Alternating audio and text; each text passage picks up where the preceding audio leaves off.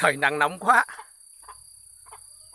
Theo như dự báo thời tiết thì ờ, 30 nó giảm nhiệt mà sao hôm nay vẫn nắng thế, sáng là cái dâm dâm. Nhờ hai con gái bón đỗ tương họ bộ. Nóng quá. Con ơi, con rắc rắc đi chứ con đừng bốc thế. thế rắc nhanh lên cho bố đi.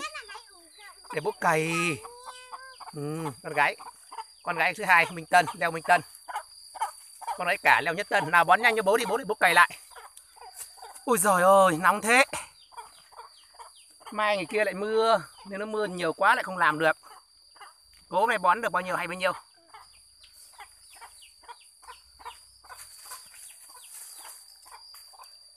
Mấy cây này nó không được gọn gàng, nó được thẳng trên ờ, mình cày. Ờ. Cây bên kia bón chưa con ơi? Ở đây con bón cây này đi. Cho nên mình bón ờ, mình cày khoanh.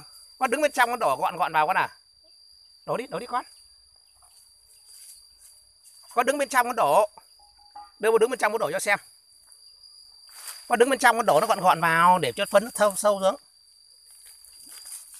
Một cây bón khoảng 7 bát con ạ. À.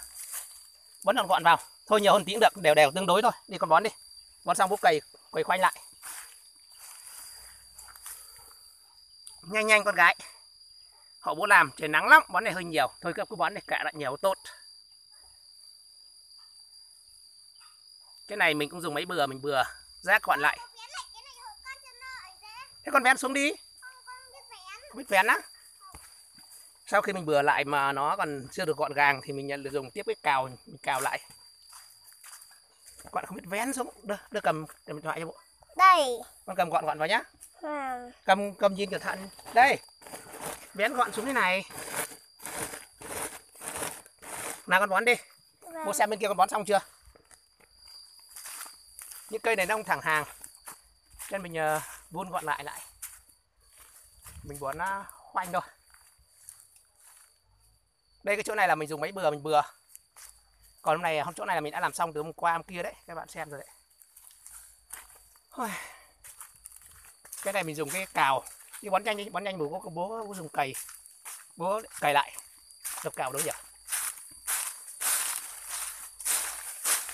Đây cái dùng thứ nhất là cái cái cuốc này. Cũng được. Nhưng bây giờ mình dùng cái cào không dùng cái cuốc này cái cào đâu rồi? Có cái cào bố để đâu không? Ừ hơi nhiều thôi kệ có nó bón đi. Thôi được. Dần nó quen. À cái cào bên này. Đâu nhỉ? À bố để mãi bên này.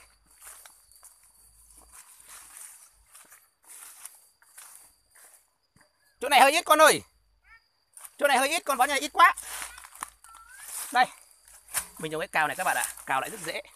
Chỗ này hơi bị ít con ơi, con mang, bón lại tiếp đây con ơi. Hai con đều lấy đi, chỗ này ít quá.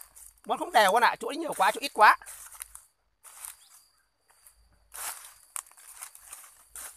Thì mình cày ra như này có tác dụng gì? Để các bác lại nhìn lại cái chỗ mà mình à, cái chỗ tương đối thẳng. Đây mình cày ra có tác dụng gì? Hai con bón lại chỗ này nha, chỗ này hơi ít con ơi mình cày ra. Thì như nhiều bạn là cày sợ đứt rễ, nó chột cây. Nhưng chúng ta biết rồi, sau khi mình hái quả xong, mình bỏ khá nhiều rễ. Thì để cân bằng lại thì mình cũng phải bấm bớt rễ đi. Không hẳn sợ cây lốp đâu. Nhưng mình bấm rất dễ đi. Và mình cày ra như này. Cày vỡ ra. Đây các bạn nhìn đây. Đây đừng cày mình khoanh. Mình cày như vậy thì nó đứt một phần rễ tơ ở ngoài. Thì không hại gì cây cả. Khi đứt rễ ra thì nó mọc lại rễ mới thì nó càng chùm hơn, nó giống như là mình tỉa vải như vậy, mình tỉa trên. Khi mình tỉa trên thì mình tỉa dễ dưới. Cái này à, mình làm cây cảnh thì mình à, rất hiểu. Mình cứ ví dụ những chậu cây cảnh và những công sở, ví dụ như trường học, ngân hàng, cơ quan nhà nước, chậu rất to, phân rất nhiều, nhưng rất cằn cỗi, bởi vì không không thường xuyên được bấm thay, bấm rễ thay đất. Còn những cá nhân người ta làm, như các bạn đi triển lãm xem, cây người ta đất rất ít, chậu rất ít nhưng rất tốt bởi vì người ta thường xuyên cắt rễ thay đất, thay chậu.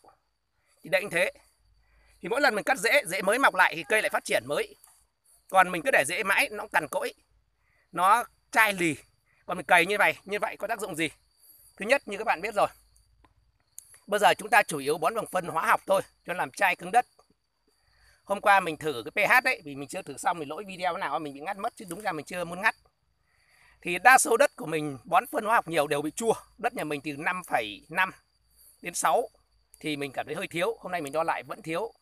Tức là mình phải nâng lên độ pH từ 6 trên 6 đến 6,5 là vừa nhất. Vậy đất mình bị mấy thoái hóa như sau. Thứ nhất thoái hóa vật lý là do chúng ta bón nhiều phân hóa học dẫn đến chai cứng đất. Rồi kể cả chúng ta bón vội như thế cũng làm chai cứng đất cho nên chúng ta cày lên để tạo sự tơi xốp cho đất còn những rác kia mình thấy nhiều bạn đốt vẫn đi, nhưng mình không đốt đâu, mình cứ để đấy, nguyên đấy. Sau năm nay sang năm nó mục đi rất là tốt, và nó tạo một lớp đất mùn. Còn bón vôi này à bón đỗ tương này, thì nó rất là tốt rồi. Thì mình không phải nói nữa, bởi các bạn làm cam chúng ta biết rồi. Tuy nhiên nhược điểm nó quá ít, thì mình à, nó không tơi tuy nhiên bón này nó cũng tơi xốp đất, nó nuôi nhiều vi sinh vật run dế phát triển. Nhưng mình lại dùng cái rác ở trên kia mình thả đẻ xuống chính làm tơi xốp đất. Còn tơi xốp như nào, bây giờ mình cụ thể mình dẫn các bạn đi xem một số cái chỗ mà cái rác mà mình để lại từ năm ngoái. Là khi mình cày bừa dọn vườn mình không đốt vứt đi. Nên mình để lại. Bây giờ các bạn nhìn đất rất là tốt tốt. Đâu những phần như các bạn nhìn đây. Đây chính là những phần đất rác. Thành bùn này rất tốt các bạn ạ. Mình không đốt đâu. Mình tận dụng nó. Còn để rác trong vườn thì cũng có nhược điểm. Đó là sâu bệnh. Ở à, như thôi mình dùng sâu bệnh thì mình dùng thuốc rồi. Đây mình để rác đây để nó phủ cho ẩm ướt.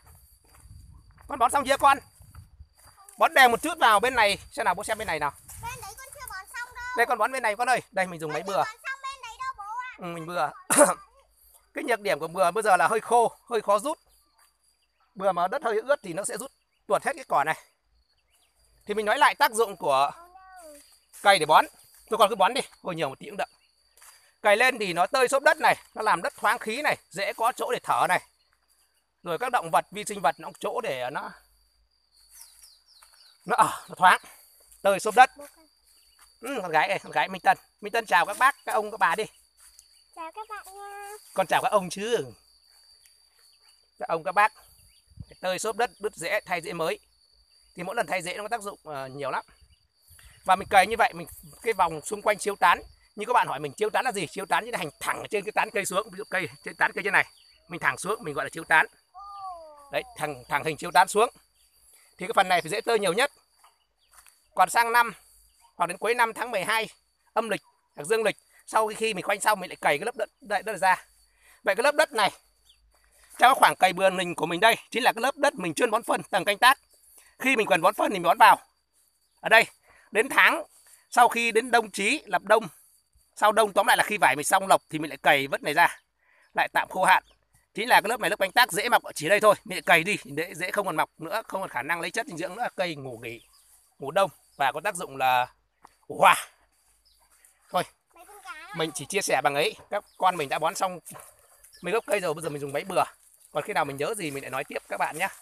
Cảm ơn các bạn xem video. Chúc các bạn làm được một lượt lọc vải đẹp đợt một. À mình quay lại một chút cái lọc một. Mình phun thuốc từ hôm 22 như bây giờ vải mình đã ra như này đây là cây vải u hồng. Mình ghép trong vải thiều. Còn tiếp vải thiều. Phun thuốc từ hôm 2 nhá. Trước khi phun thuốc thì sâu ăn cụt. Đây, các bạn nhìn lại. Trong tán. Ngoài tán. Đấy. Đã mọc tua tủa. Cái này nó không mọc được bao lâu. Mới được 22 hôm nay 30 8 ngày thôi. Mà lộc như này rồi, nó chỉ dài thêm tí nữa là nó già rồi vậy lượt lộc này như mình nhận định ấy thì nó chỉ không khoảng độ 20 ngày là xong. Vậy 20 ngày sau thì mình đã tỉa thì mình gần như bây giờ là mùa hè mình ở nhà mình là giáo viên thì mình nghỉ suất. Sau khi mình làm xong một lô này thì mình làm lô tiếp theo thì lộc một của mình đã xong lại tiếp tục chuyển sang lô đầu làm đi làm lại như vậy. Ừ, thôi được rồi tôi chào các bạn nhé không mình nhớ thì mình nói đấy thôi. Các bạn thông cảm nhá